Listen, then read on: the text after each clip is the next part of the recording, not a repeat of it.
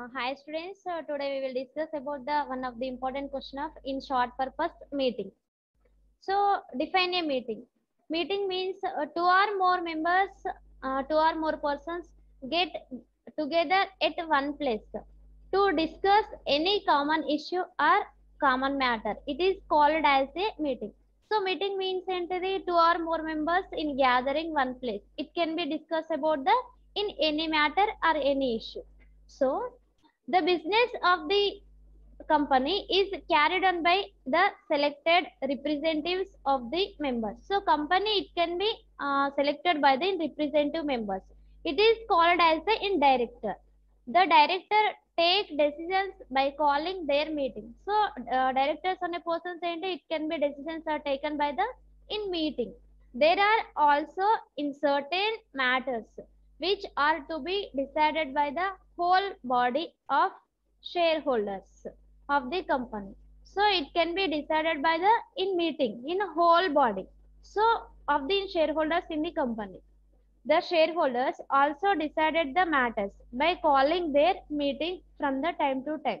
So shareholders that can be calling to the in some matters. It can be in a meeting purpose in time to time.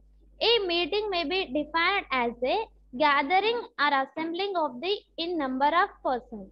So meeting means it can be assembly.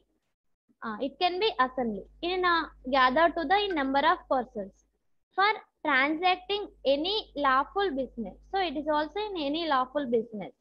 It may be noted that every gathering of person does not constitute a meeting. So it can be uh, gather the persons and does not constitute a meeting.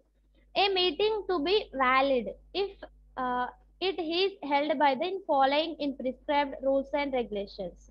The company meeting to be invalid must be in converted and held as per the provisions of in Companies Act in previous 1956. In present uh, Companies Act 2013 and rules framed uh, thereunder. The matters are decided by passing the in resolution at the meeting.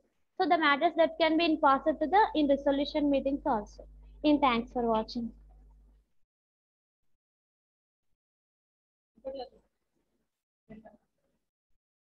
చిన్నదే short question important